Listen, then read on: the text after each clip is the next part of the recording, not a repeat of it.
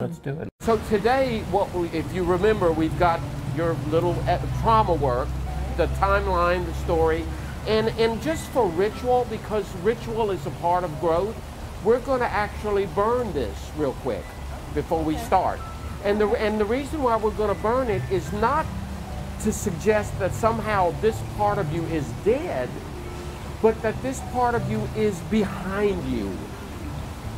Does that make sense? We're always going to have our life story. We don't want to burn our past.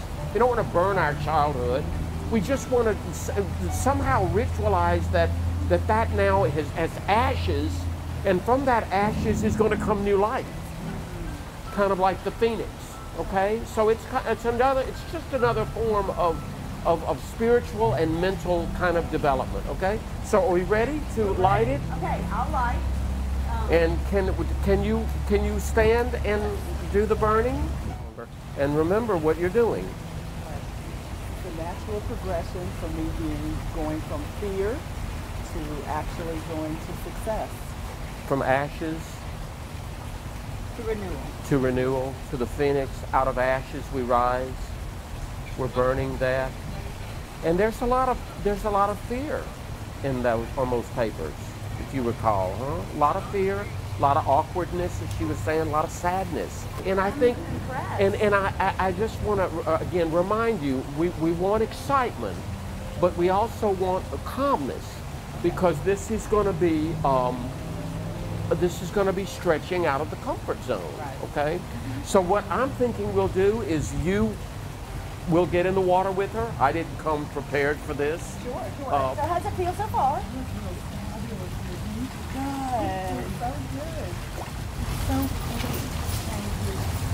Even prettier when you're a little deeper. So let's okay. And just stand. Yeah. And if you want to, Whitney, walk around. How are you feeling, Elizabeth? I'm feeling Good. Enjoy that water. This is comfort zone. Okay, this is comfort zone. I would like, if at all possible, for you to see both of us, because the way I would like for you to do this is I would like for you to imagine yourself. What you're going to do is you're going to go under, but you're not going to stay long okay? You're going to just, and you're just going to go down and up, and you're going to do it at your comfort level. So if you need to stay up for a couple of seconds, all right, we ready?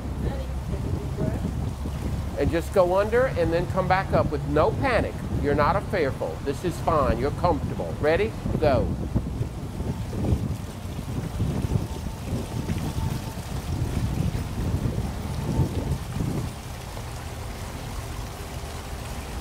That's all right. That's all right. That's good. That's good. Good start. Good start. That's a good start. What I'd like for you to do is try not to go forward. Try to go straight down if possible to take the entire head under instead of just a little because that's where you get scared with the nose and the mouth. So go as far under as you can, okay? Push yourself a little. I can do this. Beautiful. Beautiful. Beautiful. Do it again. No, what we want to do it as many times, and when you can start staying under longer, do it. We don't want to stop each time. You just do, you just do your thing. Whitney's with you.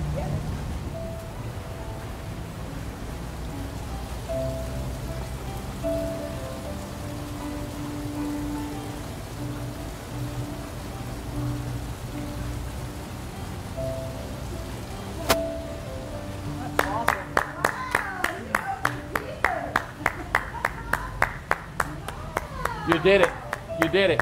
You were under for probably three to four seconds, but maybe longer. But but what was great is you looked comfortable. Elizabeth, did you feel it? You looked like you were comfortable. It's just water. It's just water. And imagine and imagine all of God's creatures that you're going to see one of these days when you go to Hawaii.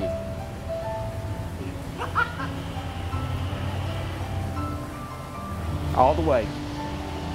One, two, three, four, five, six, seven, eight, nine, ten, 11, 12, 13, 14, 15, 16,